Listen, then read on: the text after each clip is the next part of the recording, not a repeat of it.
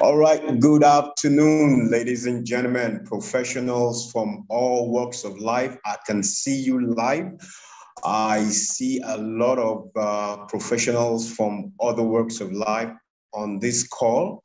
I want to welcome you all warmly this afternoon, this clement, cool afternoon, not so harsh like we've been having it in Lagos, Nigeria for some time. I want to welcome you to another time out on the platform of Association of Nigerian Chartered Architects, one of our many webinars, educative, insightful, instructful webinars we've been having all through the year, back to back from January till date, throughout last year and beyond. We welcome you to another time of enlightenment, to another time whereby value will be added to us in the capacity, our capacity, respective capacity as um, uh, professionals. I just, I don't want to say just architects now, because um, you know, you know, because um, did I meet myself?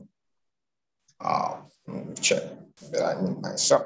Okay, I didn't meet myself because um, uh, this is not just, uh, it says uh, keeping out of trouble in professional practice. Yeah. So it's not just for the architect, it's for all professionals from all walks of life. So this conversation is all encompassing and it's going to cover the entirety of how to keep out of trouble how to keep out of trouble in professional practice. There are some tripwires here and there that we need to look at. We're going to look at different scenarios, case studies, and all of that. And my resource person, guest speaker, one and only, Asiwaju Job Architecture, he'll be the one doing the justice to this uh, to this uh, very interesting conversation this good afternoon. Um, before I bring him on, I want to read his citation. But before I read his citation, I just want to, let me see what's going on here. I just want to ensure that um, everything is in check. First off, with the use of your electronic hand, if you can hear me, just raise your hand with the use of your electronic hand. You don't have to unmute, please. Thank you. Just with, okay, thank you. Thank you. I see your hand there. Christiana Ejiofo. Christiana Ejiofo. Is this the same Christian Ejiofor I know? Architect Idris Braji, thank you.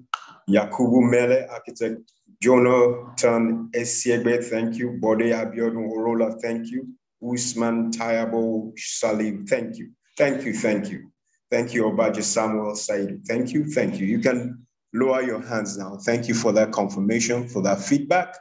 All right, that shows we are good to go on this call. Thank you so much. Um, before I, I read his citation, um, that's architect Ladi Lewis, I just want to do a, read out a little few housekeeping rules. Please, let's keep this webinar seamless, noiseless, excluding any form of interference at any point in time. Let's ensure that our mics are always muted at all time. And if you are not the host or co-host, kindly turn off your camera. You can still be on this call without your camera being on. Just you need to know it's just the host, the speaker, and the co-host that the camera uh, uh, may be allowed to be on so that we can be able to carry all this uh, interface on the bandwidth because of the bandwidth so to ensure that it's sustainable. Thank you very much. Uh, thank you very much there. Um, okay, admit all. So having said that, uh, we're going to have a Q&A session towards the wrap up and of the conversation. And I also want to announce that Thursday, just two days from now, we're going to have a facility tour at the Berger, Berger Paints Nigerian PLC. I'm sure you must have seen the promo, the publicity, the advertorial that has gone out to that respect. Please, please, let's be part of it. It's a hybrid event. You can join both online and on site. The address of the facility of the uh, office is in 102A Oba Akran Avenue, I believe. Yeah, Oba Akran Avenue. That's at Ikeja. It's going to be a wow time because as architects, we are going to be learning a lot of things about paint application and the appropriate specifications, what they call the specifiers how to be a specifier of paints and all of that. And we're going to be having a tour of their of their multi-million billion naira state-of-the-art uh, paint in uh, uh, production plants. It's, it's something you don't want to miss, please. It's something you don't want to miss. So please make out time to be part of that tour, of that. Uh, there's going to be a symposium too, and there's going to be a lot of pecs. Berger Paints are really expecting us, like plan big. They are really expecting us, and I want us all to be part of that uh, event. Thank you very much. Okay, having said that, not to waste so much time as it were. Uh, I'm going to read them the citation of our guest speaker. Do I have it here? Screen, screen, show your thing. All right, share the screen. Up, the same thing is coming up. Okay, there we go. Citation, where are you? That, that's it. Citation comes up. Thank you.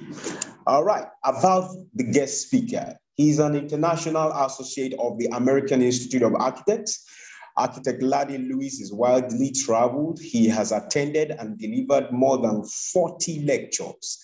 Let me say 50 now, because if I count the ones he has done for, he's laughing. If I count the one he has done for ANCA and the ones I have attended in Laugh and all of that, I'm telling you, it's over 50. So let's say in 50 lectures in various professional conferences in Nigeria and all around the world, including Italy, USA, UK, Japan, South Africa, Egypt, Ghana, India, Singapore, China, Dubai, Kenya, France, Abu Dhabi, and Malaysia, to mention but a few. He has taught more than 37 international historical and architectural buildings and undertaking more than 50 construction projects with some major ones currently in progress. I will tell you for free, he is the initiator and the designer and the builder of the Oluwo, the popular Oluwole market. Yes, that's architect Ladi Lewis there. Um, architect Ladi Lewis was the former secretary and chairman of the Nigerian Institute of Architects, Lagos State chapter, from 2010 to 2012 and 2012 to 2016, respectively. He was a member of the International Affairs Committee and sat on the membership of the Institute, Institute's Education Board.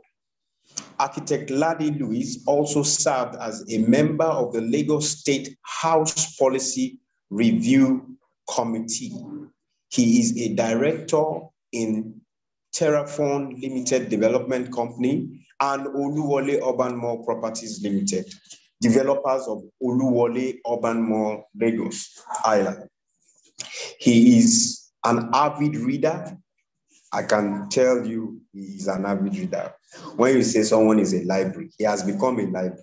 He's, he doesn't go to the library, he is a library.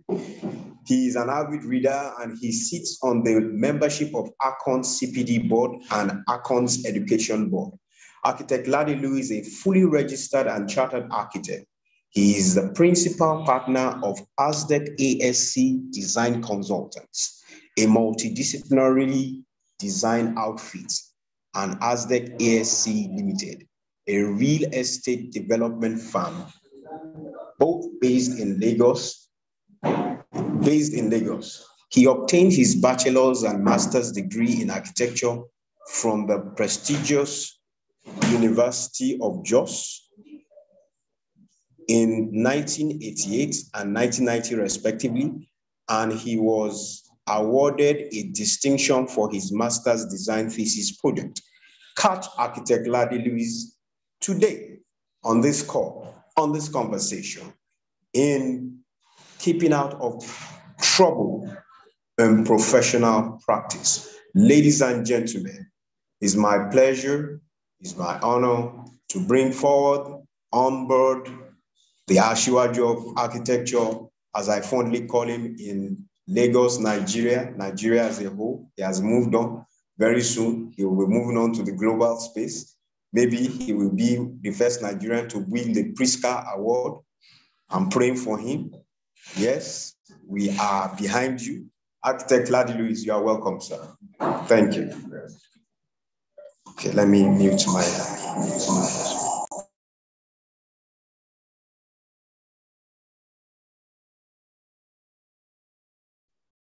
Thank you very much. Um, happy to be here. Uh, thank you again, uh, Obute, for that um, fantastic uh, profile that you just read. Well, it's, it's, it's blown my head to about twice its size uh, spiritually. well, it's always an opportunity to, you know, look at presenting. I enjoy coming to present. It gives you an opportunity to read up. It gives you an opportunity to, you know, do some more research and learn myself. In fact, all I'm going to talk about today are lessons to myself as well as someone who's in practice, reminding me and also, you know, correcting maybe some things I've overlooked. So it's going to be a joint learning process. So let's go through it and let's enjoy, you know, architecture. I'm going to share my screen now.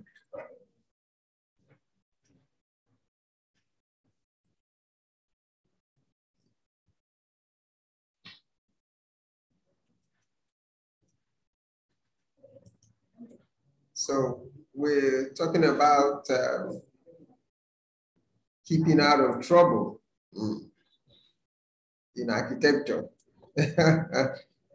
um, what I like to say is this that um, it's not easy. The practice of uh, professional practice of architecture is such a vast field.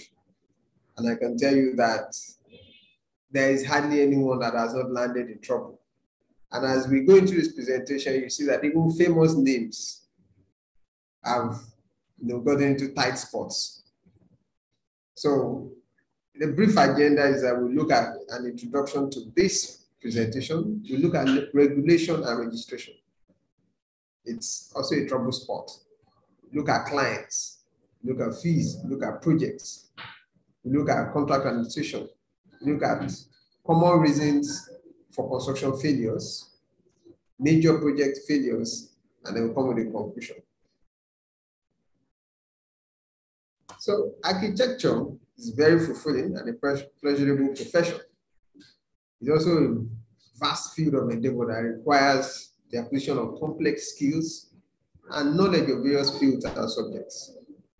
These subjects range from design, construction, drawing, sketching, structures, building materials, finance, psychology, physics, ecology, law, computing, mathematics, communication, graphics, climatology, sociology, etc.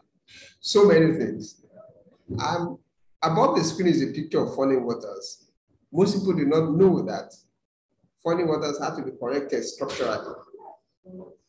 When it was built, it was said that the engineers and the clients doubled the amount of steel reinforcement Frank Lloyd Wright and the structural engineer specified. But even this did not stop the building tilting. Over a 60 year period, that tilted by about seven inches. All the cantilever slabs.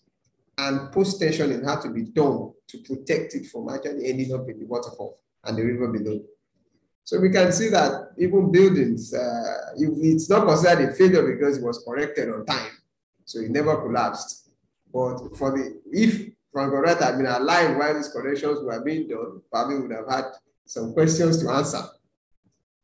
And you can see the building by Zaha Hadid, the Haida Al very complex building. If you're going to attempt such things, I'll tell you that you're looking for trouble if you're not prepared. There are just too many issues to be dealt with in a parametric design of this nature. It's easy to build them online, but it's very difficult to build them well in reality. So when we talk about regulation and registration, why is it mm. important? Architecture is a regulated profession guided by the laws of the Federal Republic of Nigeria, the ARCON Act. So not conforming to it is the first step in looking for trouble. A license is required to bear the title acted and provide the services. Registration and licensure as an individual or firm of architects is also required. You need to have that. You are opening yourself to trouble if you don't because it's a criminal offense to practice without a current valid license. So the regulatory laws are binding all architects, including a code of conduct and ethics, conditions of engagement, and any other regulations put out by the regulator. This is the standard worldwide. There is no country you go to that there is no one form of regulation that deals with architecture. And in our last presentation, we actually mentioned some people that yeah, ended up in serious problems, both in the UK, the US, and also, of course, in Nigeria too as well. I'll let you know that. So, the trouble spots with regulatory body, ARCON, could include your lack of integrity, truthfulness, inadequate professional, financial, and technical competence, unethical behavior. So a complaint could be made against you for delays in completion, unrealistic design, and disregard to client's budget, including works carried out by your workers or your staff, conflicts of interest, fraud, bad advice, lack of communication, misrepresentation, building failures, lack of pro proper contract documentation. All this could put you in trouble. So you need to work towards making sure that you're on top of your game at all times. So you will be reported. And you know, one of the I'm going to talk about how you can avoid this. You know, being reported, being you know, being uh, sanctioned, facing the Architects Social Council investigation panel or this or the, tribunal, disciplinary tribunal. Now, know your client. So we talk about clients. Who are the clients? You need to know your clients. Not everyone can be your client. Not all the 170 million Nigerian population. You'll be joking if you think those are your clients. Why would I say this? Out of the 170 million Nigerians, how many are children under the age of 18 who just getting out of school? How many are above 60, 70 who retired? How many are women? How many are in jail? How many are below the poverty line? So you, your pool out of the 170 million is getting smaller and smaller. And even out of those pool, you have clients who could be great, good, and emanate from hell. Hmm.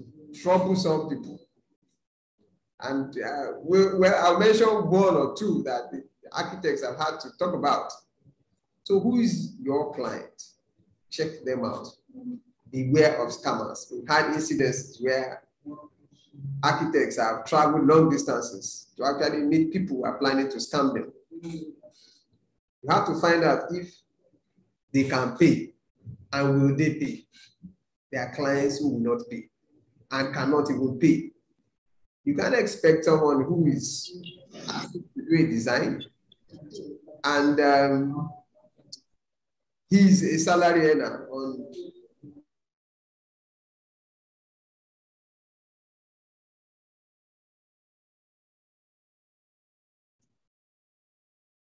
Okay. So he's a salary on a meager amount, and you want to charge him fees. He doesn't even have the money. So how is he going to pay? So you might be trying to get water out of Iraq. You need to monitor the financial position of your client. You should know when clients are going bankrupt. and when you should merely try and get your fees before they, they close up, or they are checking out of the country and they've collected the drawings from you. So you need to monitor what's going on, know when they pay, how they pay, who will they pay. Uh, a book I once read years ago said, Not everyone can be your client. You just have to have it at the back of your mind. If not, you're always going to be serious heart, having serious heartache and big problems with getting clients to pay. There are just some clients who will pay. They believe that they don't believe in paying architects. Now, if you do get a client, communicate in writing. Put everything in writing. Oral conversations are difficult to prove. I've had this statement by a client who said, Did I say that? I must have been suffering from temporary insanity if I said that to him. It's all right. He can deny it. Now, in getting along with your client, inform your client regularly. Make sure they understand the process and contracts that you're putting in front of them. How much are we charging? How, how much is paid up front? At what point do I get paid? And when you do agree, avoid taking responsibility for duties that you have no control over, such as approvals, because that also causes problems. Because you you are making promises on things that are totally out of your control. So try and avoid those things.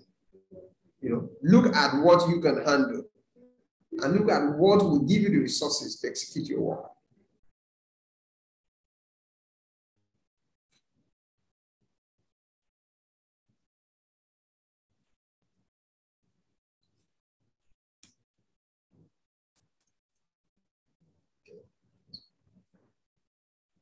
So even with this, when you have gone far with your project, always have a fee agreement from inception. When it comes to fees, you agree with your client. You've done this, you've done that, but always have a fee agreement from inception. Put it in writing again and how to calculate it and know how to calculate it with the job in mind and the regulatory laws. You need to put all this in perspective. Deal with scope creep. When I mean scope creep is that we wanted to do one house, we are doing three, we are doing four. We are moving the goalpost. It was three bedroom, now it's 10 bedrooms. The scope is creeping. And so are your fees. Are they creeping as well with the scope? Or they are still uh, standing still while the goalpost syndrome you have to be careful about this. So be careful of that goalpost syndrome. The goalpost keeps on moving. Clients like to start off with a small project. Uh, I don't have so much money. I don't have, I'm just trying to manage. And then you start the job and then they keep on introducing new ideas. Oh, the kitchen now needs to be like 50 square meters. Ah, no, no, no. Madam said that kitchen is too small. It has to be detailed. You plan for just a simple sketch of uh, sketch of drawings that were not going to be more than 150 square meters. Suddenly the building is 500 square meters. It's going to affect your fees because you're going to spend more time doing drawings. You really want to do that way. Now you own your drawings. The client has only permission to use them. So the copyright belongs to you. He can't replicate them everywhere else. And your fees should relate to whatever his use of those drawings are a lot of clients are not knowledgeable, so you might have issues of communicating to them and enlightening them. Work out timing for fee payments and make it easy to get it. There's a lot of psychology involved in getting fees. And uh, various projects come with their various, uh, what I say, obstacles to getting fees. A lot of clients will pay fees when they feel that it's easy for them it's not burden to them. And so we will not pay no matter what it is. Limit your liabilities as it may use up your fees as well. You, you, you, you provide a fee, a fixed rate, and suddenly your project that's supposed to last six months is going on for six years. I don't know how those fees are going to cover that period. So you need to look at your liability. What am I doing with this fees? What does it cover? What can it cover? Be careful about speculative work. I've had a very, very interesting experience with speculative work. A client was introduced to me by a friend, and suddenly I noticed I was the one hosting all the clients' meetings. I was the one buying the lunch. I was the I was the person paying for the transport. And the client was staring at me and saying, architect, we need to do this. Architect, we need to do that. Architect, I'm coming to your office. Architect, I'm bringing people to your office. Constantly, I had to cut off the project because I also realized the client did not have money. Now he had land. When I looked at the land, okay, if I said he should give me part of that land, I was probably going to buy trouble with it. Hmm. Because I knew the land was going to be in dispute at one point in time. Now, this probably was about maybe 15 years or so ago, or almost 20 years ago. That property is in litigation. In fact, the villagers where he had the land have sold it to all and sundry. I don't know where what the position is. So how could I have gotten involved in that? So an exit was the best thing. So be careful about speculating work. Now, getting paid requires you to send requests, chase the payment, and be persistent. So you must send a request. If you don't send a request for a payment, you won't get it. You also need to work out a method of mediation and adjudication in case things go south. And they do a lot. Projects could be abandoned. I've had a case where a project was abandoned at schematic design. And I insisted the client must pay. And we went through a lot of tussle. A lot of people will simply walk away since oh, it's schematic design, but I insisted that look, we spend time and money on this. Yes, we still have the designs, but we spent the time and the money. So I always insist on that that you pay for what we do.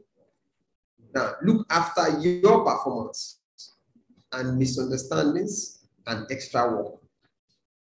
Now, what I mean by this is that you need to know what you're delivering and the misunderstandings that can arise from it. And also the issues that will return, return to extra work. They all affect your fees. Your performance is dependent on the fee you want to get. Be careful about uh, producing a set of drawings demanding a fee for a project, only for the client to realize that he overpaid you, or he could have gotten something better for the same amount. So you need to also de de de defend your work with the fees you are charging. Now let's go to the project design. You know, I looked at this article of a deadline, and yes, dark and scary down there, but you have have you seen the alternative? A ball hitting you because of the deadline. So look at the brief in detail. Confirm in writing. Use questionnaires to tie down specifics. It is key. A lot of problems come up for you even as a designer when you do not tie down your brief. What am I really designing? Who is it for? You know, there's so many issues involved. Create a checklist to determine what type of building, when is it required, how much will it cost? What is the procurement process? What is suitable for your client? What level of finishes and sophistication of construction? Don't import a project that or design a project that your client can never, never, never build. It's just a white elephant fitting your project into what your clients can achieve. Sometimes they have clients have dreams, but their pockets can't uh, justify the, the, the imaginations they have. So design to fit the client's needs and specifications. Probably future needs as well. So you sometimes have to be a psychologist. You know, and expansion should be anticipated and considered. I had a case of someone walking into my office and complaining that he had been slammed a bill of almost 40 million for not having building plan approval for over 20 years. And I said, you, uh, you arrived at this point because you were engaging quacks. He said, but he started with just one warehouse. I said, as at that time, if you had engaged an architect, you'd have had a master plan with timelines and a vision of what you were, your, the entire final development would look like. And you'd have gotten approval for peanuts 20 years ago, rather than a huge, humongous sum you're being asked to pay now. So you need to be the architect who is able to fit into your client's vision and dreams and reality. Now, also check your client's documentation, surveys, titles, and other documents. Be careful about, you know, not checking those things and getting involved in issues that will result in litigation, putting you in trouble. I've had a case of um, a fellow architect who said they and their office went to a site with a client, well, maybe not asking the right questions, or maybe not being timid enough not to ask the right questions. But what ended up happening was that the landowners, as we call them, or Omoniles in Lagos, showed up with shotguns and confronted them, kidnapped them into a pickup and drove them into the jungle and told them that they are very lucky that they saw some ID cards of them. It seems as if they work for Lagos State government. That's why they let them go. And they abandoned them in the middle of the bush near a village. So they, they walked towards this village, and it was the villagers that had to give them a means of transport back to the to the to civilization. Now, what really happened? How did that go wrong? Suppose it had been people who were vicious. So sometimes you need to ask some questions. Don't be too timid and don't be too eager to get the job. And because of the job, you don't ask the questions. Now, you need to also use the appropriate design process and plan of work when executing your, your project. Do the research on what kind of design process is required for this kind of scheme and the plan of work. There's so many plans of work available out there. So let's look at the project design itself. So you need to understand the project typology. Invest in research material to get it right. When you're undertaking a project, you need to get background knowledge of that project. You need to do a lot of research. And some of this will require that you go beyond yourself. You know, go beyond you. You might need to partner with some people. Being humble and knowing your limits is very important so that you don't get things wrong. You are a quantum of the knowledge you have. You can't give what you don't have. And some people might have a lot more knowledge than you do. Detail your drawings appropriately. Put in place quality control processes. There are projects that you may not be able to see the problems in it. I'm going to talk about one or two of them, and how those things came about, and also my own experiences. I've had close calls on some projects. And I say have to attend to some projects because things always go wrong. That's uh, there is Murphy's law that anything that is a machine or a process that is in production or whatever, we always find a way of going wrong along the line. But you should also have a way of correcting it if you have the knowledge. So evaluate the levels on your site when you design stage. Sometimes we make those kind of little mistakes watch out for drainage issues. I'm going to list some things like this. Evaluate critically how to keep water out of your building. It's key. You know, there is this statement by one famous architect that great architecture leaks. Well, nobody will, will like your building when they're in bed and water is dripping on them or their houses are flooded. You know, so you need to look at how critical, how do I do that. When you put all these things in place, you are more, you know, at peace when your client you know, occupies your building. Ensure services are appropriately integrated. Make sure you check those things. I've heard of a project that um, a contractor was telling me about that he was awarded. They were going to move to site, but the design was done somewhere in the Middle East, and they assumed they were designing for the Middle East. So they brought the entire set of drawings complete, brought it to Nigeria, only to discover that there was no borehole, there's no water treatment plant, there's no sewage treatment plant. There's no uh, provision for generators, diesel tanks, transformers, all the infrastructure that we will provide here. They took it for granted there. And they had mobilized the contractor. So you, you need to know what services you're integrating into your building, and you need to know what you're going to put in place. Ensure that all statutory requirements are met please, if you need to get approval, if you need to get uh, permits, you need to put all those things in place, your APRN, put all those things in place. Don't overlook your technical requirements. Engage specialists where necessary. There are a myriad of specialists. So many. a simple project will probably need geotechnical analysis. And I would insist on any project I do to have geotechnical analysis. I must know what is under the ground, even if it's a bungalow. We've had a case of a site where we went to and we saw the buildings there, majority of them were tilting. Those who are not tilting were you know, slightly off alignment. And we discovered that to do a foundation in that area, you require to do piles going to about 24 meters and nobody had done it. So everybody was simply guessing with the foundation structures they had put in place for those buildings. Well, it's a risk some people have taken. We were not ready to take that risk. So we had to do a lot of analysis in geotechnical requirement for that site to do that. Some buildings might be so massive that the you need to look at expertise in determining the structural integrity of that building. Some structures might require wind tunnel analysis, might require, you know, uh, pressure tests, might require so many other things. It might require, you know, uh, wind movement within it. Some buildings have been known to create vortex.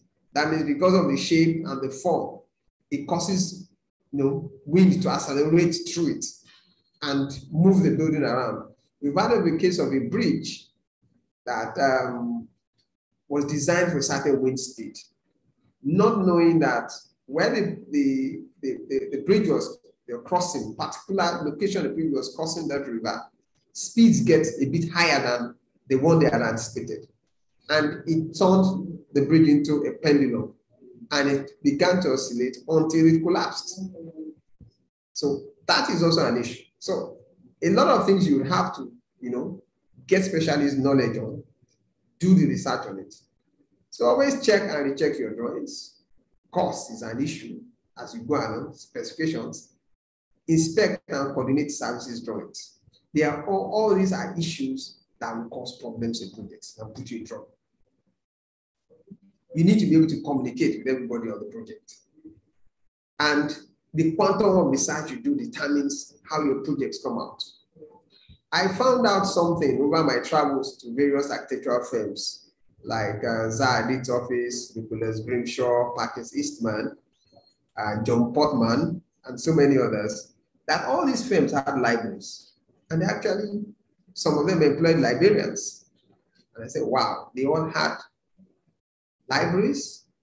So they will do the research on their projects, score you know, data on buildings of that typology, uh, history of those buildings. And these offices, uh, some of them are 50 years old, 60 years old. You know, they've been around for a long time. They've done hundreds to thousands of projects worldwide. So they have the expertise that they've acquired over the years. So do not shy away from partnering people who have more knowledge than you. It will save you a lot. You could be losing your client's money, making your building uninhabitable because you've missed out those things. You know, uh, I believe in sharing knowledge and also believe in acquiring knowledge.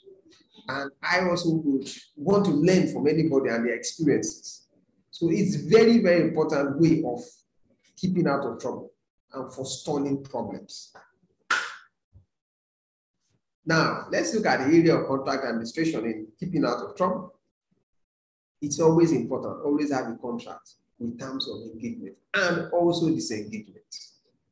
You might have to disengage. So you need to have those terms. You need to know, you know, what the contract covers. What I would say is get a proper standard form of contract. It's better than trying to write your own, operate your own it's important that you have an agreement in place. Though an agreement is as good as the integrity of the people who signed it. If you sign agreements with the wrong person, you're going to have issues. Do a background check on those you are engaging. There have been a case where we actually wanted to engage a contracting company and we, we were told, oh, they're having financial problems. So we'll pay money into their account, it might end up being used to pay old debts and we had one that the uh, principal of that construction company was a lawyer and he's known to flare up and say, look, let's go to court. I'm a lawyer. You are the one who's going to hire a lawyer. I employ lawyers. We, we have to avoid such a person. So went to a background check on people you want to give jobs to. If not, what you discover is that you, you do contracts, you sign contracts with people, you advance them money, and they disappear. But also, you need to know the other requirements which are going to about keeping you safe during contract administration. Now, never go to site without statutory approvals. It can cause delays, it can cause your work to stop and create problems. Get all the statutory approvals. Now, understand different types of contracts. If you want to use a letter contract, standard forms of contract, JCT, etc., you need to know about sub-consultants, subcontractors, suppliers, contracts. They all will determine how you operate and how you can control the processes. So your contracts are very, very, very important. Avoid taking liability for what you don't have control over. I'm going to repeat that also here. You are the architect. Stick to architectural professional services. If you're going to be a contractor on the project, it's a different ballgame because the liabilities are greater. Do not take one for the other. Identify the crucial parts of the contract. Do not forget insurance, professional indemnity, etc. There are so many things in contract administration. But keeping yourself out of trouble is that you know all the clauses. And all the requirements will be met. You put them in place. If it's a performance bond, it's an advance payment bond, make sure that you have them in place. If it's specifications and details and all that, put also all those things in place. Issue instructions on site with cost in mind. Whenever you issue an instruction, there is cost at the back of it. It could either be negative, it could also be positive. We had a case where we had a project manager who is supposed to be, as you know, project management is just management of the process, not issuing instructions. And we had a contractor, we are approaching the site, and the project manager said, No, we need to accelerate this project. We need to accelerate this project and we need to start painting. Can the contractor, uh, we need to do landscaping, you know, so the, the scaffolding are covering the landscape area. Can we just remove the landscaping now? And now the contractor simply just smiled because they haven't done the painting and they require the uh, scaffolding for painting. So if you take them down to do landscaping, when you're going to paint, are you going to put them back up? Those are instructions to remove scaffolding and you have to give instructions to put them back up again at a cost. If you're making changes, know that they could have cost implications. To stay out of trouble, you need to note that day-to-day supervision of the contract is the responsibility of the contractor. So if you signed up for what I call inspection of the works, which you come in, spend two, three, four hours, inspect, write, whatever instructions or notes or uh, your observations and you leave. It's not supervision. Supervision means you are there constantly. That word supervision has been removed from a lot of building, uh, uh, so a lot of uh, consultants' conditions of engagement because of its implication when you go into the courtroom. The judge is going to look at the definition of supervision you actually supervise your drawings, your design. You own that, but you don't own the contractor. You are an advisor to the contractor. You issue him with drawings that he needs to conform with, and you expect them to know that he's complying with them. So you need to know, uh, you know, know that the difference between the two. You know, a whole topic of project administration will take a whole seminar and will take more than a day to go to all the areas. But going to, these points are just to keep us out of trouble. When you issue certificates of payment, do it with care and diligence. Overpay means you, you can't just recover the money. People you pay money to will find it difficult to refund. You know that. The contractor will give you excuses, whoever you pay to. You know, so always check it. Make sure that if it's uh, if you're going to deduct for retention, you have done it appropriately. If you're deducting for tax, withholding tax, VAT, make sure you put it in place. Once you've paid, it's a, it's a big war trying to get it back. So you need to look at your payment structures for any project, even if you are awarding a simple contract. If you're going doing an advance payment, what's the security on it? Now, deploy reasonable skill and care to the project. Reasonable skill is, you know, it's nice, you might say it's ambiguous, but you need to know what your capacity is on the project. If it's beyond you, go and seek for that capacity. It's not going to be uh, leave you less uh, spoken for by not seeking for that expertise, by not engaging people that might know better than you on a project. Even people that might ask you questions like, oh, have you done this? Have you done that? You need to do that constantly. There are projects that you might not see the problems, the other person would see it. And because of the experience, I've seen further than you could ever see. And sometimes it might even be the reverse. A younger person, a junior person will see a problem that you don't see it. We'll look at some case studies where this has happened in various projects. The legendary American architect Frank Lloyd Wright is quoted as saying, the physician can bury his mistakes, but the architect can only advise his client to, play, to plant vines. He said this in 1954. And it still holds true till today. If a doctor, a physician makes a mistake on someone, the person probably ultimately this person dies and they bury the person. Your building is going to stand and probably be staring you in the face. So it's, it's always a nightmare to me when I take up a building because I don't want a problem with it. I'm always thinking of what could go wrong and how would I fix it. And we will talk about issues like that and people have encountered such problems. So common reasons for construction failures.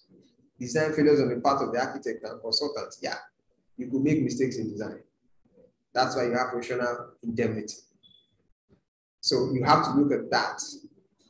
Lack of proper definition of duties. Who does what and when. I've had a, a case where in the building that had four staircases going about 12 floors, somebody forgot to put the handrails. He just didn't show up in the of quantities.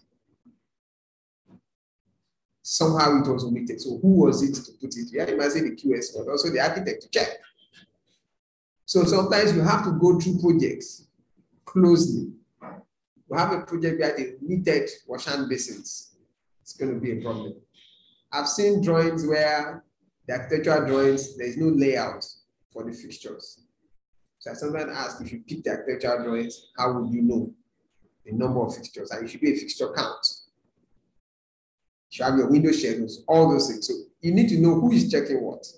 So I've had a case where they did not put water heaters in the building. These were things of, you know, who was supposed to check this? You know, who was supposed to provide for this? who was supposed to specify this. Now, financial pressure to complete the project at all costs can be source of failure. You're under pressure, there is not enough money to finish the project, there is going to be problems. You can't leave out some parts of the project, take out some elements and expect them not to have problems, that project not to have problems. There are some essential parts of the project that you must put certain things in. You can't take out things that are waterproof and expect the building not to leak. Flashes and expect you don't have leakages. Thresholds, window sills. You, you, you can say you can manage them, but they will cost you at the end of the day. So changing certain things, you know, in a project that to try and reduce costs can be source of construction failures. So I've said changes to the design, modifications without proper analysis of their implications you need to look at that. If we change this, what is the implication? How is it going to affect the project? If we add this to the design, what will be the implication? In the area of design, you also have to evaluate how your design is going to be maintained on the long run when you fix that thing. So if you put a roof with a fascia board and a soffit. And that building is 50 stories or let's say 20 stories high. If that fascia board comes off, how are you going to fix it? Are you going to put back scaffolding 20 floors, 30 floors up to go and fix that single fascia board that came up? How was it going to be accessed? Did you think of things like cleaning cradles? What's going to hold the cleaning cradle? There are so many things. So we're not going to go into the technical issues. We're going to do a broad idea of what you should look at. Failure to use appropriate materials or inappropriate use and application. There's a case of a bridge in Vienna that they wanted to use glass on the floor, but the glass was slippery, and people started falling off and slipping. So it could be an inappropriate use of materials. It could be like a nice idea, but wrong use. So I've seen a, a client wanted to have a terrace facing the ocean. And uh, so, yeah. Yeah, sorry. I was going to go about failure to use appropriate materials or inappropriate use and application. I went to project site in Banana Island and the client had this huge terrace in front of the ocean and he had these white tiles glazed white tiles on the floor. Where you'd have water.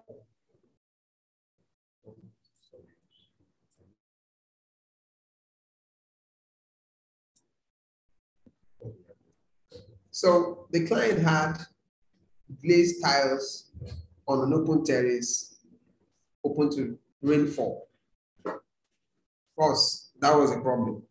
As at the time the tiles were laid, it was the rain hadn't fallen then, but you can expect what is going to happen. To make matters worse, he had these frameless glass doors with just normal hinges. It's inappropriate. Frameless glass doors have air gaps between them. They are not airtight. So when it rains, of course, you're going to get water coming into that building. And I, I, I was scared to ask if he had, the glass was tempered and laminated. So appropriate use is important. For certain buildings, there are minimum requirements for the use of glass in terms of the thickness, in terms of the strength, in terms of uh, uh, whether it's tempered or not, or whether it's laminated, and the size and the structure to hold it. It's a complex process. In fact, for some structures, you need a facade engineer who is trained to do all those calculations. So be careful about the use of materials. You want to use cotton wool to know how it is going to be used. One other area is bad communication and coordination of various aspects of the project. There has to be communication between people on the project. You know, a syncing of communication between parties is important you must have a team that is working together. And you should be able to ask the architect, know when there is a deficiency in your team and when you need to bring in people to fill that gap. Failure to follow recommended testing and standard industry practices will lead to construction failures. You need to know what those are. There are certain requirements for certain things. You need to have them lack of experience from everyone in that project would be a problem. Experience, they say, is the best teacher, but sometimes it's one of the most painful teachers. But be as it may, it helps to have experienced hands. Now there are also unforeseen circumstances, things you cannot envisage. They also reasons for construction failures and will bring trouble to you. So you need to prepare for those two as well you need to work towards contingencies. Sometimes it's called a belt and buckle solution to a problem. You know, there is a project I looked at, and the software engineer kept on saying, look, his safety factor is tending towards times three. So he's compensating for any errors. I looked at it, it was a minor cost to achieving that. And I said, look, I'll sleep well at night, knowing fully well I've documented that factor, that safety factor in our development, and I'm covered by it. Now, we want to look at some major project failures. Some of these buildings, you probably know them, Farnsworth House, Villas, and whatever, but you might not know that these buildings have suffered major failures and were sources of litigation. Let's take the first one. Farnsworth House by Ludwig Mies van der Rohe. For those of us who love modern architecture, you probably would have come across this in architecture school or by studying about the great Mies van der Rohe. Less is more. so this iconic piece of modernist architecture that started with relationship described by the client as tremendous became the subject of litigation that went to trial between the architect and the client. In fact, the client claimed that her relationship with Mies van was a bolt of lightning. Fantastic. But problem started.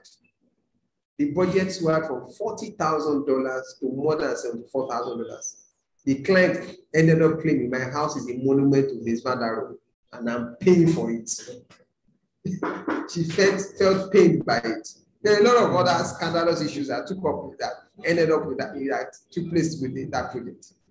So Edith Farnsworth, the client, claimed the roof leaked, heating oil from the boiler, that's the radiator, the heating system, collected on the windows. The fireplace vented properly only when the door was open. She said the truth is that this house with its four glass walls, I feel like a prowling animal always on the alert. As he walks around the house, uh, she feels like an animal who is looking, who is watching, who is looking at me. But that was the design. Farnsworth said, I wanted to do something new. All I got was this glib, false sophistication. You can remember some of the things you mentioned previously. It came out on this project. It's a beautiful piece of modernist architecture it's a museum today. People go travel all over the world. Students go and visit it. But it had all these issues. For someone who wanted to live in it. For those who don't want to live in it, it's a piece of beautiful architecture that we can all admire. So Mies, project architect, said, if I could, if I would have known she would be so difficult, I would never have touched the house. That was his statement. The client's lawyer claimed Mies didn't know anything about steel its properties or its standard dimensions. Not about construction or high school physics or just plain common sense. Imagine somebody berating Mies was supposed to be the master of steel. These major buildings, you know, uh, Lakeshore Apartments is well known for its beauty. His less is more mantra was is something that architects, generation of architects have, you know, imbibed. This was a problem. The lawyer said all he knows is that guff about his concept that he was just conceptualizing. And in the Kendall County Courthouse, that doesn't go down. I tell you, we had him sweating blood. Can you imagine that? The architect, the almighty architect, was taken to court and they made him sweat in court. It was a very, very, very difficult situation. In fact, they had to settle out of court and uh, payments had to be made to you know, fund the issue. The property also suffered from flooding, and one occupant lost a precious and the painting to the flood waters. In fact, from what I've discovered recently, they are trying to move the building because it's in a floodplain and periodically the banks of the river close to the site overflows uh, like every 10, 15 years. So a lot of work is being done to preserve the building. Currently, nobody lives in it. I don't think anybody wants to live in it because of the various issues has that. It's a piece of what we call modernist architecture. So if you're going to design a monument, no, it is. Is it the pyramid of Giza that's just meant for dead bodies yeah. and not for the living? So you know whether that's what your client asked you. It's part of the brief. Make sure you know what the brief is. So Let's talk about the darker side of Villas Savoye, another piece, another architectural masterpiece. But as soon as it was completed, it was apparent that the house was not comfortable. Between 1929 and 1934, the roof leaked continuously. The heating was not sufficient, and finally the owner stopped using it. In June 1930, Madame Savoye wrote a letter to architect Le Corbusier saying, it is still raining on our garage. She had also sent him an earlier one complaining about the skylight, saying that it makes terrible noise. So you could put a skylight, you could put something, and noise that you create. And you need to attend to this. He says, which prevents us from sleeping during bad weather. The contractor claimed to have warned Le Corbusier that such a design would cause such problems. Refused to take responsibility. All these problems resulted in a house feeling cold and damp and subject to substantial heat loss due to the large building. So it, the architecture could be fantastic, but there could be practical issues. So in 1935, Madame Savoye wrote again to the Commissioner stating, it is raining in the hall, it's raining on the ramp, and the wall of the garage is absolutely soaked. It's still raining in my bathroom, which floors in bad weather as the water comes in through the skylight. The gardener's walls are also wet through. Two years later, she sent him another letter full of frustration. So after a number, a number of demands, she finally accepted that this house, which you built in 1929 in, in an uninhabitable condition, please render it inhabitable immediately. I sincerely hope that I will not have to take recourse to legal action. So there were issues with the project all the way through. So at least one writer says that Rogers, Madame Savoye's son, had health problems where direct, that health problems were directly linked to the villa, mainly because of excessive daylight due to large glazing. Wow. In 1935, in 1935, an article published in Time states, though the great expanses of glass that he favors Le Corbusier may partially turn his rooms into hothouses, his flat roofs may leak, and his plans may be of wasteful, wasteful space. It was architect Le Corbusier who in 1933 put the entire philosophy of modern architecture into a single sentence. The house is a machine living. So we have great architecture, we have fantastic philosophy behind it. But it's a machine you got to live in. But that machine needs to be comfortable. In fact, during World War II, the Germans looted it and the cost of rehabilitation was estimated at 80,000 pounds. Madame Savoye decided not to spend the money and never went back. Later on, the machine for living was turned into a hay barn. It was abandoned, but some people saw it as a piece of architecture. So what you're seeing was another era of reconstruction, amendments, and retrofitting. A lot of these projects now with modern materials probably will perform better than they did then. And of course, looking at all the problems, it could have been resolved. Things like um, the leakages would now be fixed with you know, modern materials that are now available in the market. Uh, the uh, skylight that was making a lot of noise could now be insulated double, triple glazing and all that. All those things will probably now be available to resolve a lot of those problems. And that's why you see that some modern buildings by uh, Frank Gehry, with all its complex forms, can now be achieved and still be habitable. And Frank Gehry used to be scared of his buildings leaking. He used to be afraid of leakages, which used to occur in some of his old buildings.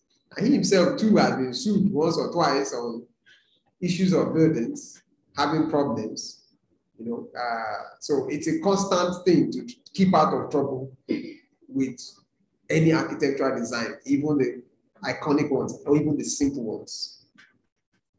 Now, I will look at this building, the John Hancock Tower, was designed by, is a 60-story skyscraper in Boston that was designed by I.M. Pei and Partners, the architectural firm, and unveiled in 1976. Its striking minimalist appearance when it accolades from the architectural point, but it was famously plagued with problems. I can tell you that no matter the project you take up, there will always be issues, but be ready to deal with them. One major issue the building encountered concerned its windows. They were falling out and crashing to the pavement of 100 of feet below. Now, that's a description of building. But why did this occur? I always say there can be problems with building, but why? We need to find out why and how to solve, uh, find a solution to the why. So, in the 1992 book, Why Buildings Fall Down, authors Matthys Levy and Mario Salvadori explained that this was due to unanticipated repeated thermal stresses to the panels. Ultimately, all 10,000 windows will be replaced at a cost of 5 million pounds, $5 million. So what we're saying now is that the, the inappropriate use of the curtain wall, the panels were not able to deal with the stresses that the building was subjected to. So probably would have needed an expert for facade engineer, maybe a wind tunnel analysis, some you know, pressure test to see that that curtain walling would have been able to deal with those stresses. Maybe they needed to have had gaskets and you know movement joints between them. It couldn't be just a normal kind of curtain wall you could put on this 60-story minimalist building in Chicago that's noted for high rates. We also see another building that suffered problems of being in Chicago too as well. So the area you are in, the, the building, could be a source of problems for you. So you need to be careful about it. Now, the John Hancock Tower encountered one other major problem. Skyscrapers are meant to sway in order to absorb strong force of wind. Though the sway is normally not felt by building residents, but this one dramatically swayed. And it gave the occupants of its floors motion sickness. The problem was finally solved by Cambridge engineer William LeMessurier. And the only way to solve that problem was what we call dampers. Damper technology is another thing entirely. It's an expertise. It's an area of specialization in tall buildings. So you need to gain experience in that area, meet the experts. When you're designing certain structures, they could be subject to all kinds of forces that you cannot imagine because you've never experienced or never read about them or you never researched them. William LeMessurier is known to have solved a problem on his own building that he designed and had issues, which I will conclude with in this presentation. Kemper Arena. I love to talk about this because I actually met with Jahn once. And uh, I've, I've been to some of his buildings. Brilliant architect. So designed by architect Helmut Jahn, this 7,600 seat Crosby Kemper Memorial was regarded as innovative for its design simplicity with no interior columns to obstruct spectator views. Three exterior space frames supported the roof. 12,000 square meters of concrete and steel weighing over 15,000 kg was used to build this structure. Kemper Arena was an indoor stadium in Kansas City, Missouri that opened in 1974. It had been the site of the 1976 Republican National Convention, famous building that hosted such a grand event and the one way we for is that unique design. Rather than employ view of certain forms, the roof was suspended from trusses on its exterior, which you can see in the picture. So what went wrong? On June 4, 1979, the roof collapsed when a heavy storm battered the city. Fortunately, it wasn't being used at that time, so there were no injuries or fatalities. But it was a shock to the city nonetheless. The roof had been designed to release rainwater swiftly in order to avoid flooding the nearby West Bottoms area. This caused warring water to collect on top and pool anywhere the roof sagged, creating excess weight. Once year, the roof was suspended from hangers and the strength of their bolt had been miscalculated. Once a single bolt gave way, many of the neighboring ones followed suit, ultimately leading to the roof's collapse. It was said that Jahn was actually receiving an AIA Gold Merit Award the night that, that building collapsed. It was must have been shocking. Yes, you might say structure engineers issues, uh, M&E's issues, but it would affect you if you have a problem on the building. You would need to know why it occurred and how you could have avoided it. And the cost implications, the media and all that would not be funny. And a lot of buildings like this do have issues, especially with massive ones. Uh, there's a building I was uh, uh, watching on a program because I always look out for programs about buildings and failures. And I will connect uh, videos and CDs on that. The roof is uh, a pneumatic membrane. So it's um, kept in place by pressure. It's just pressurization of the building that keeps the uh, membrane in place. So it spans the entire structure. It was cheap. It covers the entire stadium that sits over 50,000 occupants. But in the area where it's located, it snows six months of the year. So during that six months snowing period, they have to heat up the building 24 7 to try and melt the snow. And they have an army of people who go on top of the roof to sweep up the uh, snow from uh, building up on the roof. It's such that it's a 24 hour job for them. Now, they claim in the US now that that building is the last building with that kind of roof because others had collapsed catastrophically. Fortunately, one that did did not have any occupants when it did, but it was a lesson. So they are considering changing the roof now because of the weather conditions. Maybe if the roof were in a place where they didn't have storms, they didn't have high winds, they didn't have snow, they didn't have rain, that would probably work. Or if it was not at such a high level, such a huge span, such a structure would still be, I say, calculated with risk to be appropriate for its use. So it's a it's a it's an issue when buildings really have to have problems that we could have anticipated and we could have forestalled. Now I'm going to conclude with this. William LeMessurier, the guy that solved I.M. Pei's problem. He had a 59-story crisis, but it was a lesson in professional behavior. He was a, one of the country's most distinguished structural engineers when his Cambridge was called upon to act as consultant to the planned Citibank corporate headquarters. LeMessurier had a vast array of experience in skyscrapers. Was it was designed? This was designed by architects. It was done by the architect Bill Stubbins, along with associate architect Emery Roth and Sons. Now they were the architects on the building. But in 1978, Diane Hartley was an uh, Dan was an engineering student at Princeton who discovered an error in the complex engineering design of the city building by accident. William Mason would later admit to mistakes made in the structural design of the building and get clients, get the clients to work on the major corrections required to make the building safe. So no structural failure occurred with his intervention.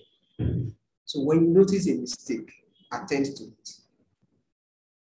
Plan to correct your mistakes. You will always have mistakes. You will always have errors. You will have things you meet, but plan to correct them.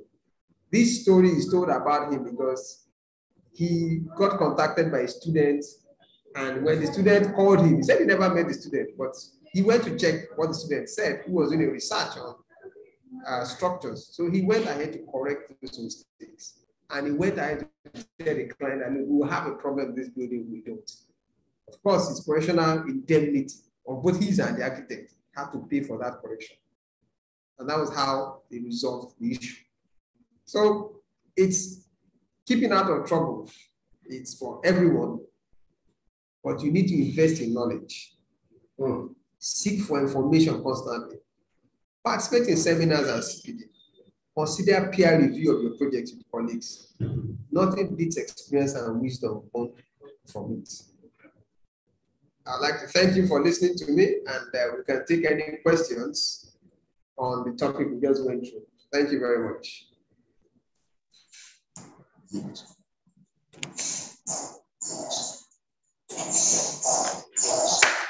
Fantastic.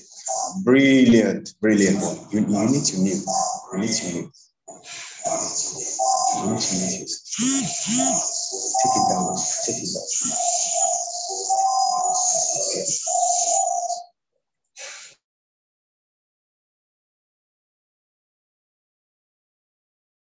Thank you so much, sir, for that brilliant delivery there. Uh, well, I would say uh, in a humble way, that was expected. When you call someone the Asiwaju of architecture in Nigeria, you will expect nothing short of excellence delivery. Thank you so much, sir. Um, I, I, I observe that uh, before we um, go to, please, if you have any questions, you may want to uh, fill them in the, thank you, Irinyemi Olamide says, beautiful presentation. Abdullah, Abdul Hamid Bala says, nice, great comprehensive presentation. It touched, ah, we see, you see, it touched every aspect. That's architect Chibuzo, all right? Brilliant, thank you, architect Ladi Lewis. That's Izuchukwu Obimba, my main man, Obimba, Ekwanu, always delivering exceptional. You see, they are, they are alluding to what I said. Obimba, well done, I greet you.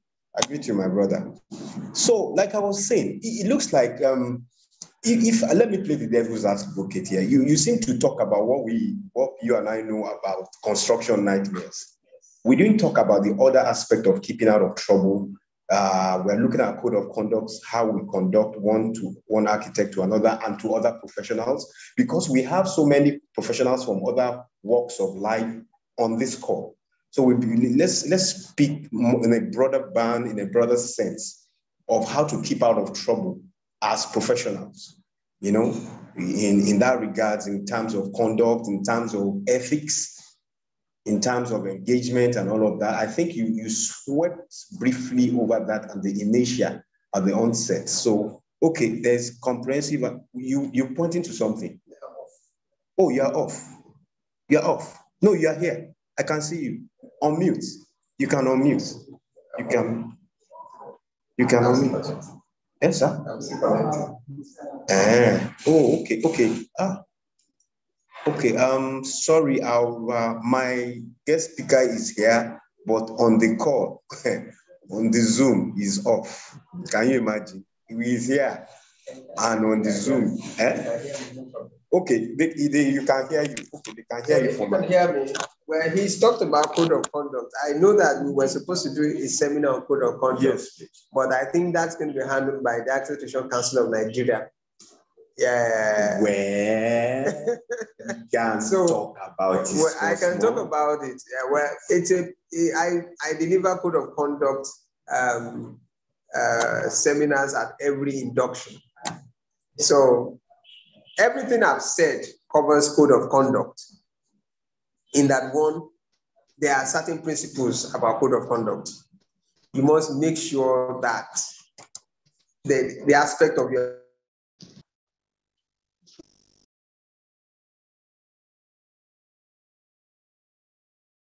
Okay, uh, sorry, you couldn't hear me.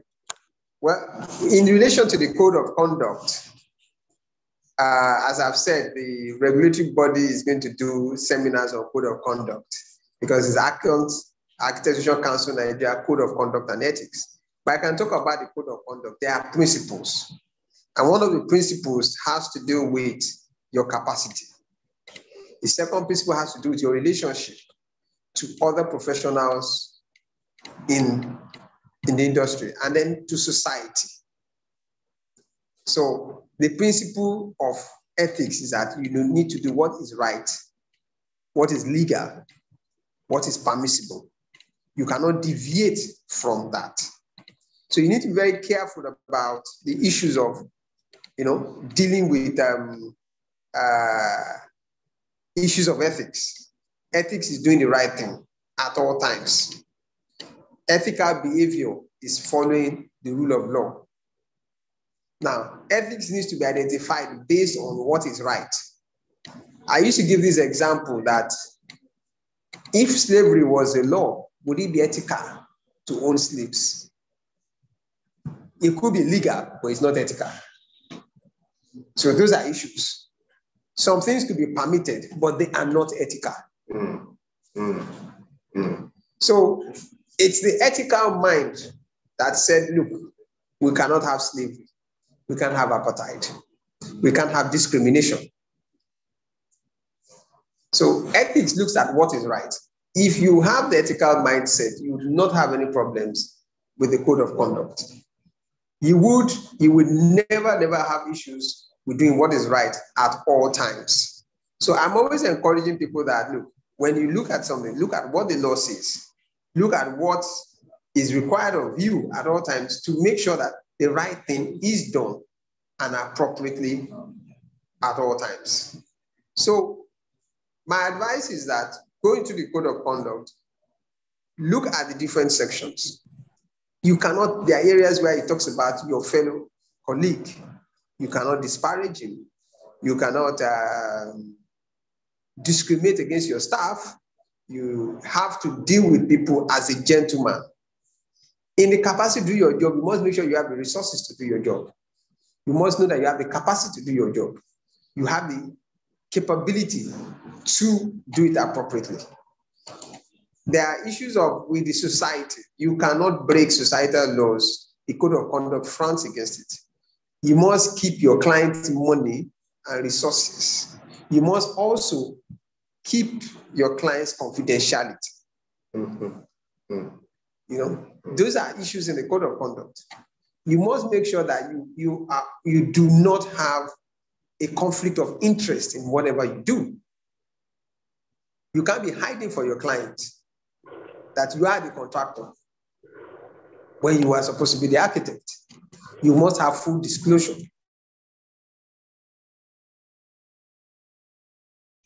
Okay, you can go on.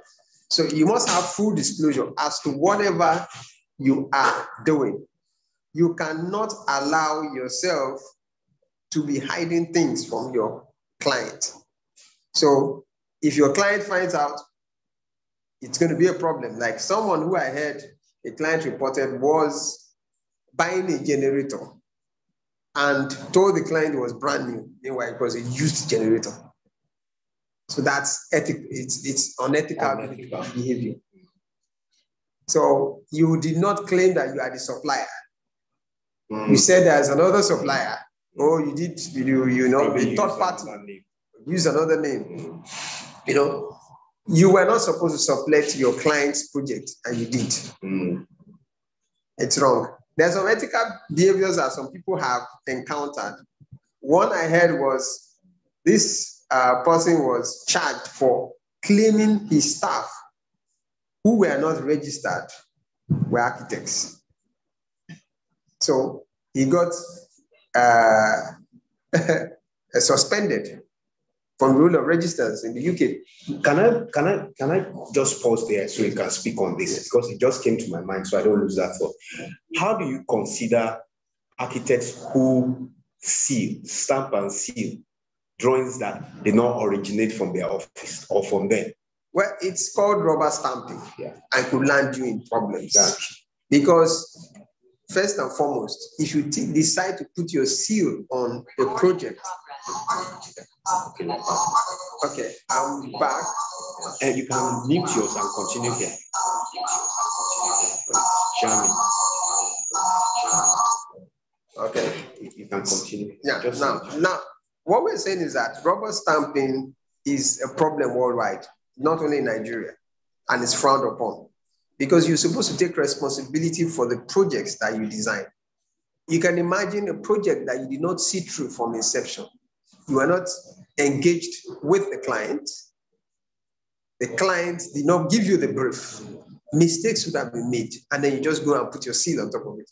You are inheriting all those problems, mm. inheriting all those liabilities. So mm. you need to be careful about rubber stamping.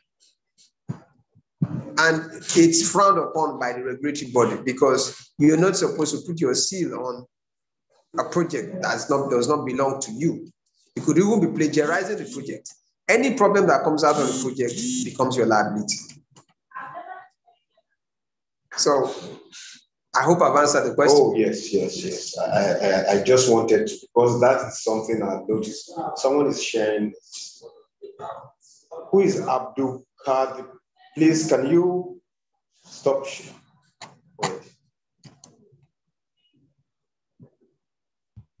Is it question time? Allow people to ask questions. Time is flying.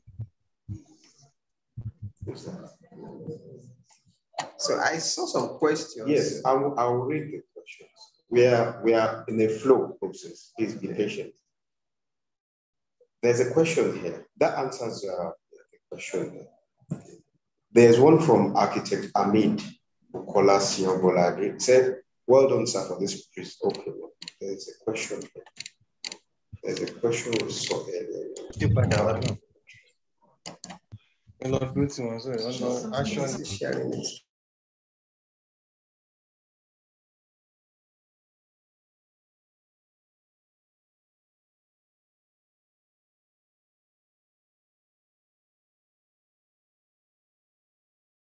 Let's unmute herself here. Um, okay, where's the chat box now? Chat, chat, chat. Where are you? Wow. Where's my chat not moving? Okay, let me let me let me view from here.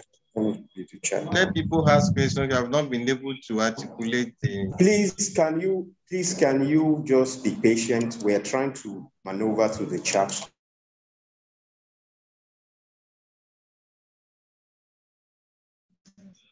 Hmm? That's so many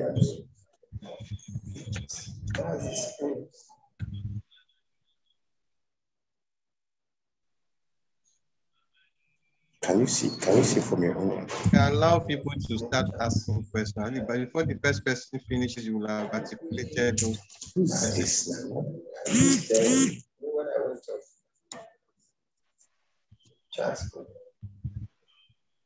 Okay, I think okay. Let's. I want to go all the way to the top. There is a question I saw. Okay. Uh, from the chat box. Yes. The question from Isa Bala Mohammed. How do you stay out of trouble when you have a friend or a relation as a client?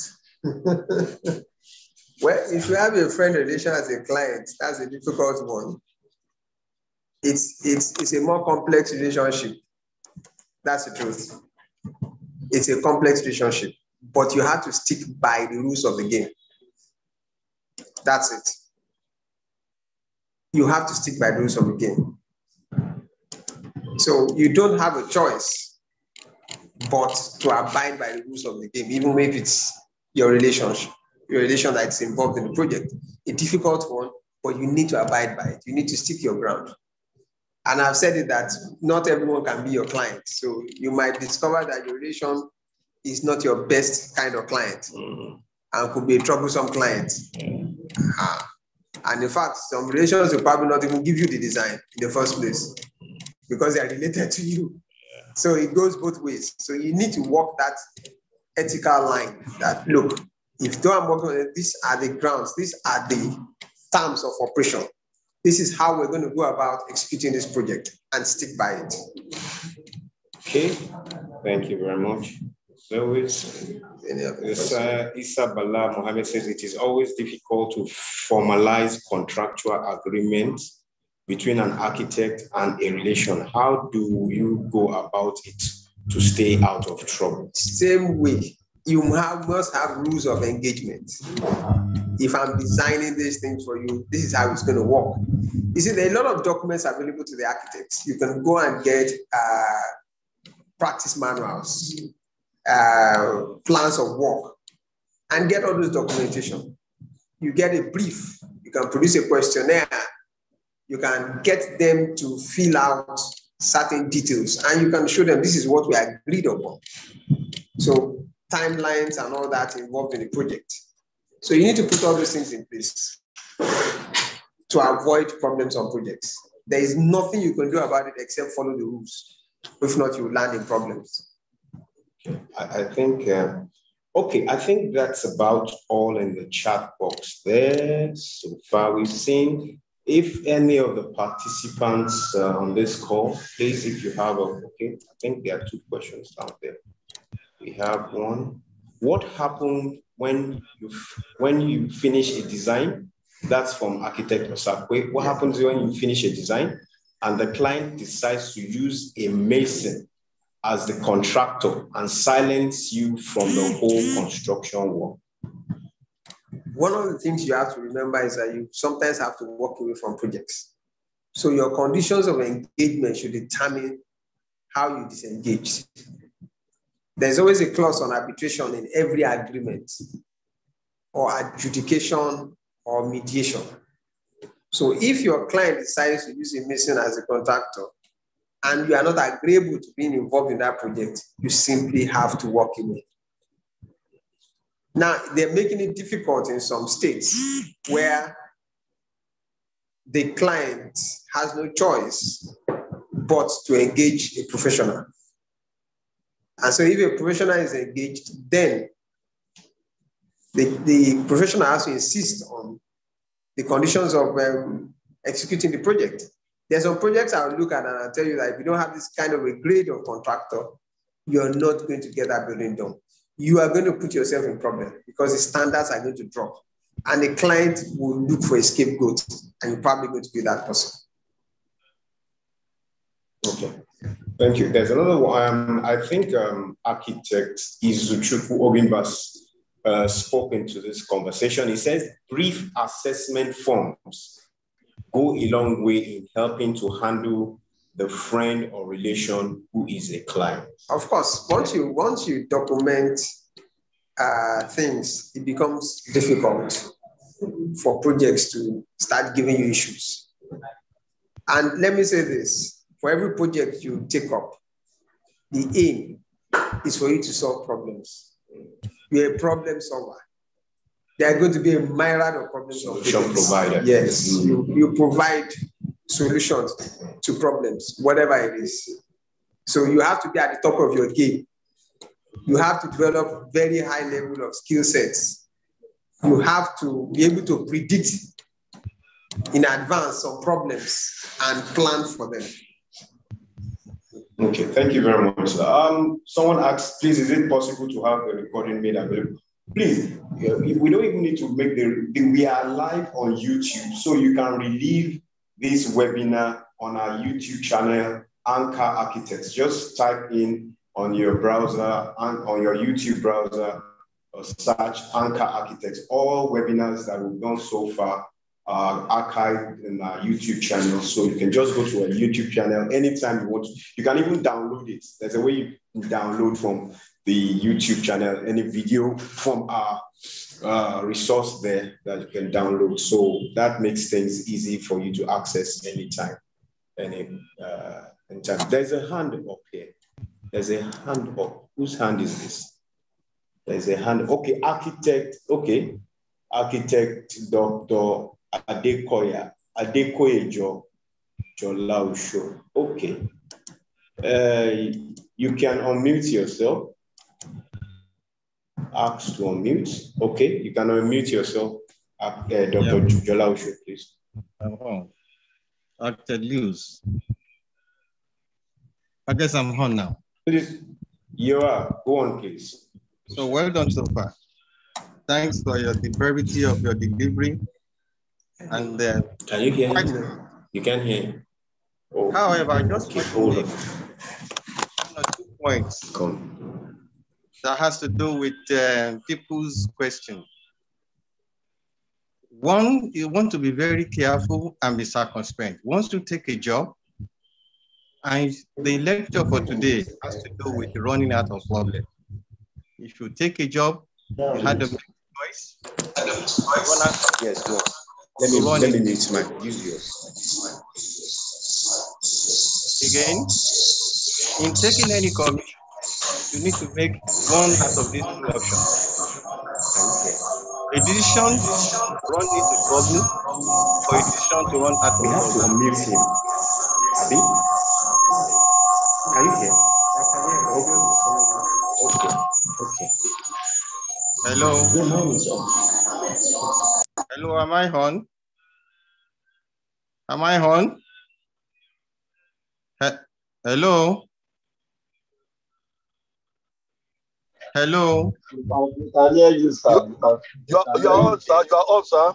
We can hear you loud and clear. Good. I said then in taking the, a commission, an architect has to take one or two decisions. One, in taking that commission, you, you think about run into trouble or you run out of trouble. If you choose to run into trouble, then you're ready to compromise ethics and code of conduct. I'm, I'm saying this as an emphasis based on some questions people are raising about uh, the sentiments surrounding having a commission with and among your relations.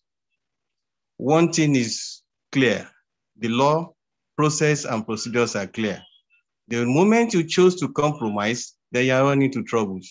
But the best for you in dealings with human beings, because what we are doing as, a, as an architect has to do with life. And in, in toying with life, it's a, has a great consequences. So you either be for it or be against running into trouble.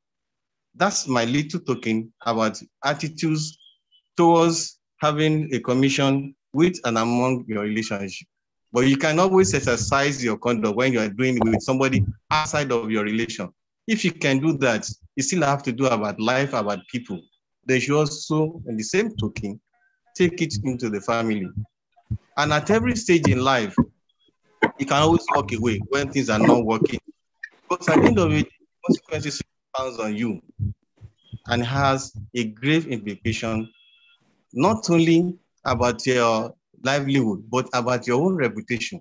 A reputation you've been building over years. Once it's destroyed once, it cannot be bought again.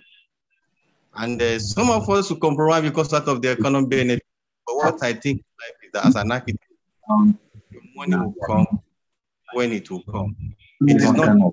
It doesn't consider your own decision. And most times, the commission that give you money that will survive in life has no problem. When Why need better? So my advice is that leave your space of compromise such that you can Thank you, sir.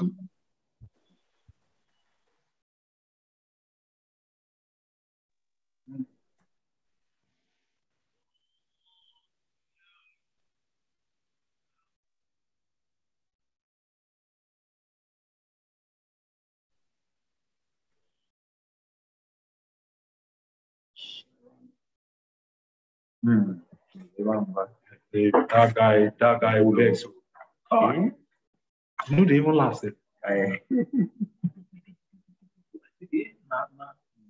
Wetin? Calm down. My architect will talk.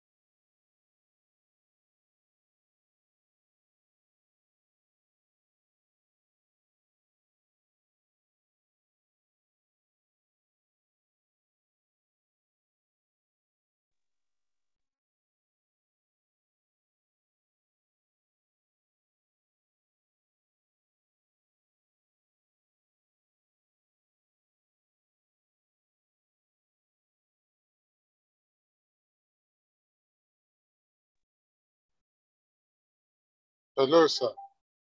I can't hear.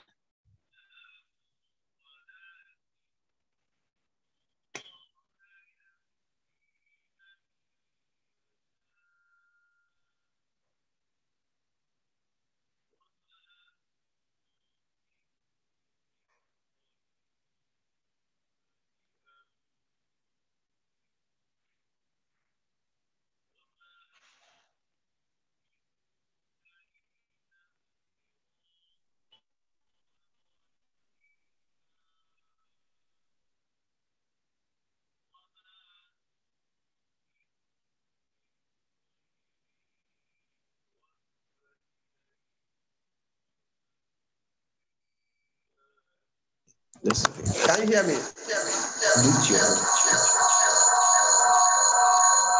Take your hair good. I So, think they can hear. so you. you can hear me now. Yes. Now, the question is what kind of a contract would you have, have with your client? Were you supposed to handle the inspection work, the, the, the stage three construction, construct, construction management stage where the contract is being managed on site? Were you the architect for the site uh, inspection works for that period? If you are, then you need to ask yourself, has he paid you for that stage of work? It is only when you have not been paid you can withhold anything. That's the truth. By law, if you've been paid for any documentation, any drawings, you are bound to release it. And that's why the conditions of engagement is in stages. You have, you know, the stages up to contract award. It's normally either as a lump sum or eh, a man month rates or a percentage fee. Meanwhile, the construction stage of inspection of the works is done you know, by monthly payment. So if it drags, well, it still covers you. So what needs to be asked of the architect is what was your agreement? That's the truth. If your client decides to move on, then you are obligated to terminate the contract with the client. That's the truth. And then seek for the uh, fees that are due to you for what you've already done, not what you have not done. So you ought to have been paid for a complete set of the drawings required to move to site. And then when it comes to site, if he decides to build by himself, you disengage. Then you're not responsible for the outcome of the works on site. You cannot force yourself on a project because there will be liability issues. If you take up that liability that I will be going to site, meanwhile you're not being paid to, to go to site, and then you one Sunday you buy you've agreed, you've issued instructions, and then someday you say you cannot no longer go or you're no longer issuing instructions, it will look as if you tacitly agreed to do something. Yeah. For whatever payment or no payment that you agreed with the client, and then you stop halfway. So you need to tidy up your contract. Do not write to your client. Tell him you require so, so, and so. Do not wait to say, oh, when he runs into trouble, he come looking for me. By the time the trouble has started, he'll be looking for ways to blame you for it. Mm. That's the truth. And if you find if he has a uh, leeway to or the opportunity to prove that he had already paid you for so so so so set of drawings, and that look, it's not mandatory that you be part of the site development stage of the project. He could hold you liable because he knows that he was supposed to get a complete set of drawings from you to go and put up his structure. And he did not require you at the site development stage. So you need to look at those contracts and agreements, what was agreed between you and the client. So that would be my suggestion. Okay, thank you very much, Architect Larry. Um, there, there was a point the audio went off. So I think we need to capture this question again, okay. answer it again. Um, yes. How do you handle a situation where your client went bankrupt in the middle of the project? Well, bankruptcy is uh, a, uh, it's, a, it's, a, process where you wind up a company, you wind up, uh, you know, it, it, an individual de- declares that he does not have the resources to meet his bills, his, uh, to meet what his creditors are requesting from him. And so bankruptcy proceedings will start. So they wind up the assets of the person. Certain people will be called in, accountants will be called in to look at his assets and then pay off everybody. Obviously, the project is going to stop and they will probably attempt to sell off the project to somebody else. So you might have a case of novation where you will now have another client that you might have to deal with on the project. Or they might simply pay you off and the new person goes ahead with his project. So bankruptcy is actually winding up. is like determination of the project. When you determine a project, you wind down and close the project, and everybody takes up whatever is due to them on the project and moves on. So if it's, it's a, you know, if it's your client is paying bankruptcy, you are winding up everything and you are closing down. So I hope that answers the question of bankruptcy. On the issue of withholding documents, you can only withhold what has not been paid for. So my question would be, or my scenario would be like, if you have been paid for the drawings and you are supposed to deliver them, why would you withhold the drawings? If you have not been paid for them, yes, we would understand. So what part of drawings? If you are having additional details you know, to explain issues, they should be such that they are specialists. They are not what I call the basic things. Because what drawings were used to get the building plan approval to award the contract? So if the client decides to move on without you, he's moving out with a risk that he's taking up that aspect of work by himself or engaging somebody else, and he must have paid you off because of an issue of supplanting, somebody else comes in. But you see, you shouldn't be playing a cat and mouse with your client because it's actually unethical. You say, I'm going to hide some things, then maybe he will run into trouble. He may never ask you because he never may not see those the requirement for those details, and then problems might be created on the project. And then he will find a way to blame you for those problems. So you need to be careful about such an arrangement. Have everything written down in black and white. You owe me so, so, so, and so. This is what you owe me. Am obligated to deliver so, so, and so to you. This is it. So always work towards that carefully um, I will say there's concealing some details to me, it's unethical. It's actually even mischievous because those details could be critical. It could also be life threatening. That's the truth. It could also be life threatening. Okay. Thank you very much. Um, quick one. Uh, Rita Amayo, please, I think you need to check your settings as you stated here that no audio, sir. Please just check your settings, and ensure that um, your audio is not on mute. So um, kindly check your settings because I think everybody else here can hear the conversation. All right, thank you very much, sir. Um, any other questions before wrap up? The president of Association of Nigerian Chartered Architects, I can see a yellow box around you. You want to speak, sir. Uh, asked to unmute. I've asked you to unmute, sir. Mr. President, sir.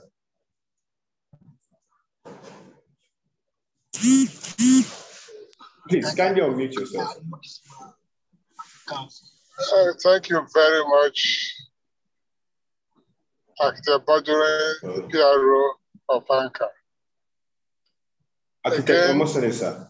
Yes, please. We are waiting for your presidential contribution to this conversation. I'm, I'm here. I'm here, please. I'm here. Can you hear me? Uh, ask to unmute. You need to unmute Can yourself. you hear me? Can you hear me? Can you hear me? Can you hear me?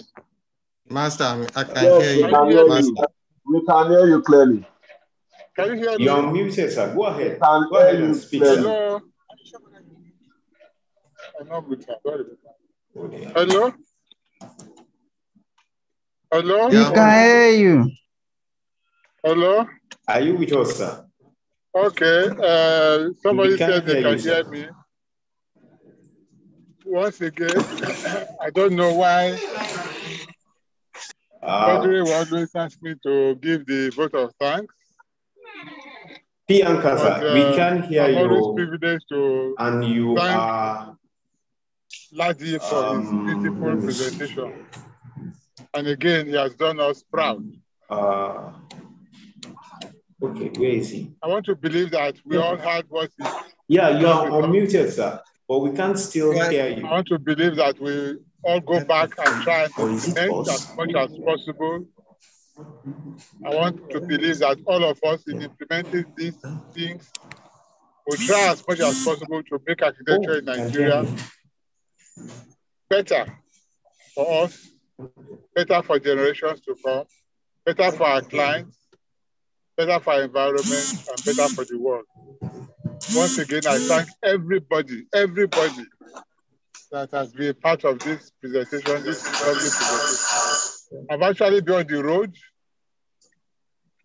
I've been in a car for the duration of the presentation, and I enjoyed every bit of it. Ladi, thank you. We hope to hear from you again. He's thanking you. Thanking thank you. We continue to commend your public relationship assignments as far as ANCA is concerned, putting ANCA where we want it to be. That is making sure that ANCA improves the lot of the Nigerian architects. ANCA builds up the capacities of one and every Nigerian architect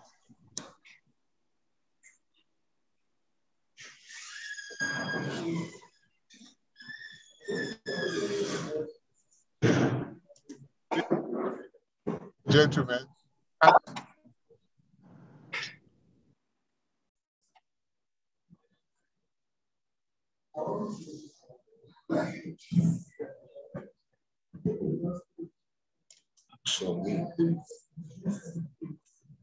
Uh, sir, I think uh, you um, mistakenly muted yourself, sir. Kindly unmute yourself, sir. We can't hear you again, sir.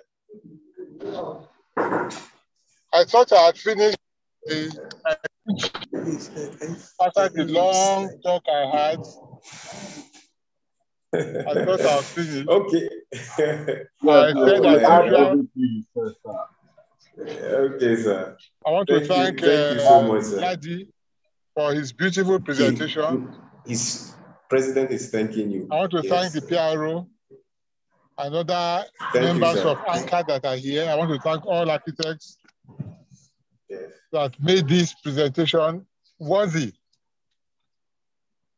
Um, I thank You're not thanking me, oh. You're not thanking me, President.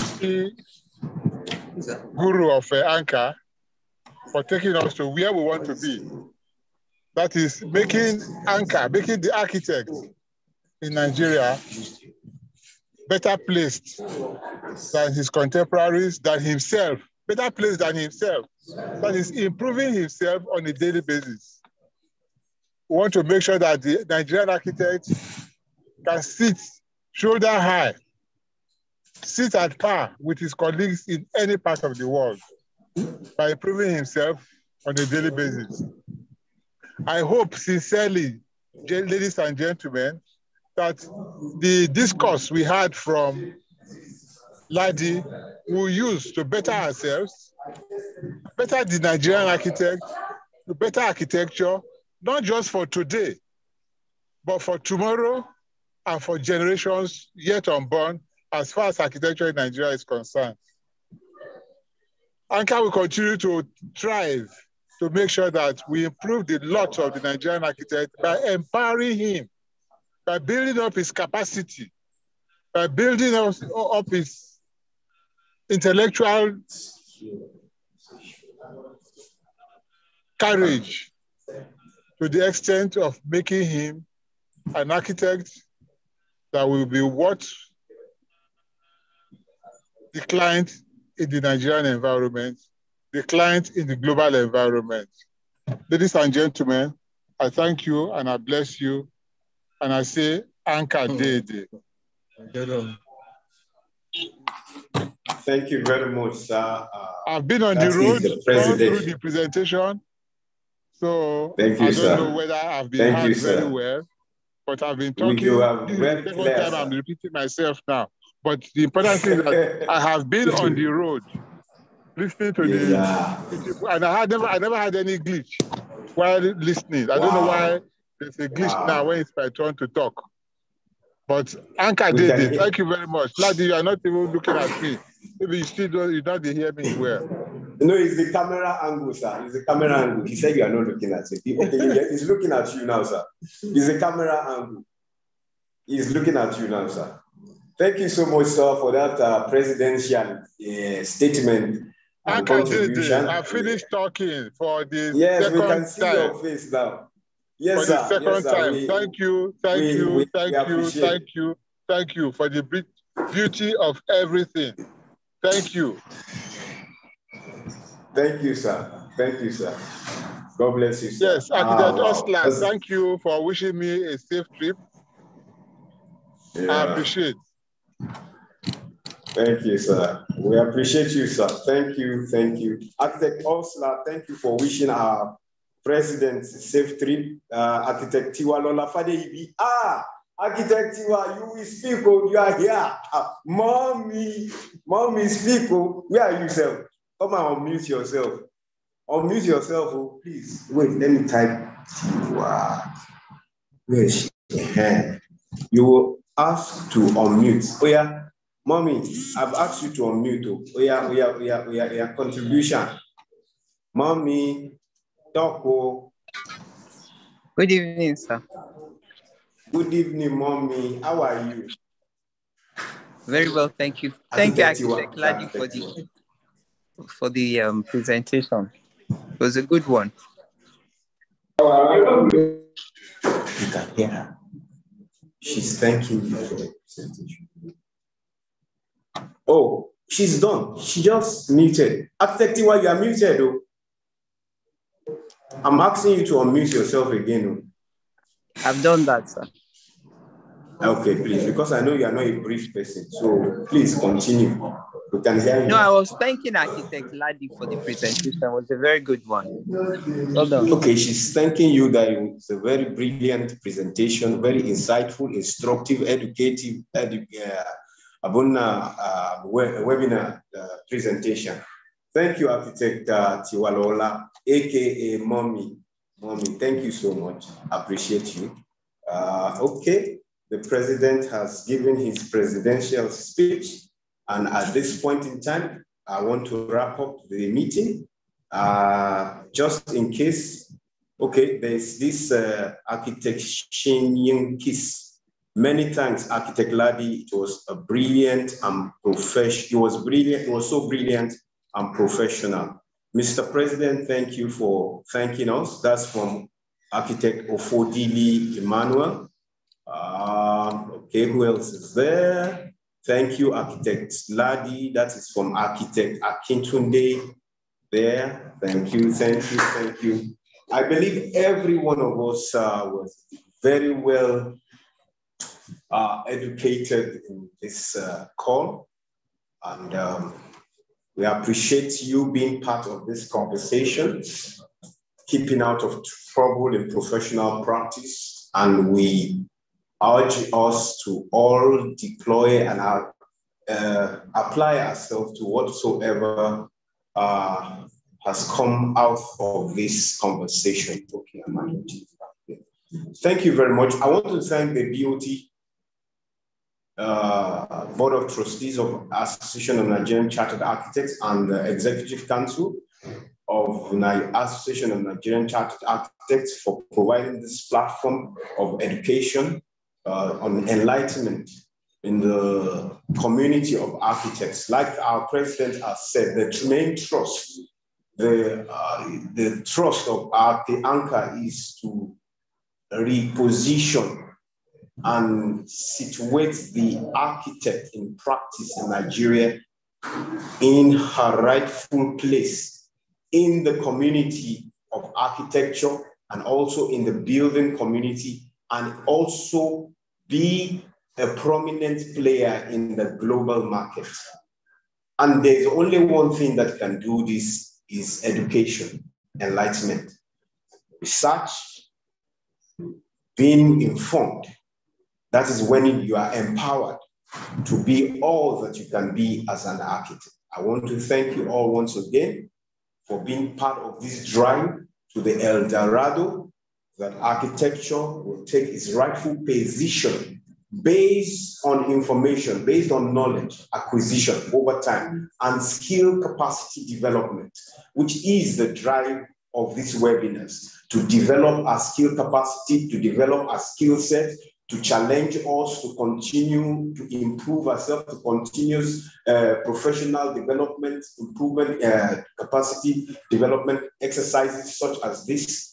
And we continue to enjoin you to be part of our webinars, our conferences, our seminars. Thank God the COVID uh, restrictions have been lifted so we can have on-site meetings, just like we are going to have two days time at the Berger Paints uh, Nigeria PLC facility tour. You don't want to miss it. Please, the advertorials are out. Kindly do yourself the favor to register for that uh, event. is both is a hybrid event, both online and on-site. So whatever your situation is, choose the one that is most suitable and convenient for you. If you can make the physical event, please do make the physical event because um, Berger Paints are preparing big for all architects who um, participate in that on-site event. And their perks, their, their incentives, their uh, uh, considerations that will be given to architects who participate. And I believe it will also translate to those who are online too.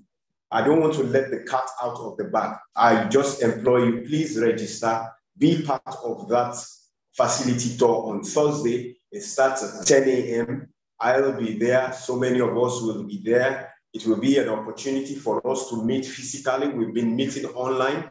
It will be an opportunity for us to have that camaraderie spirit physically and uh, take things uh, further in the drive to El Dorado. Thank you very much. This has been a very enlightening time. It has been a very instructive and insightful time. Once again, I want to thank our guest speaker, the Ashiwaju of Architecture in Nigeria. Uh, um, I'm prophesying now, the soon coming Pritzker Award winning prize winner in no distant time, in no distant future, Architect Ladipo Lewis. We thank you. Thank you so much for being always there, always supportive, always there to, to, to disseminate in knowledge, to pass across, to impact.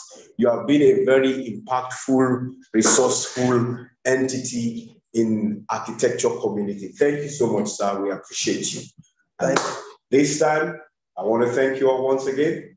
And at this, we are wrapping up now. And we thank you, we thank you, we thank you. And my name is Bodri Mutwe, National PRO, Association of Nigerian Chartered Architects, and I approve of this conversation. Thank you, peace, and we are out of here. God bless you all.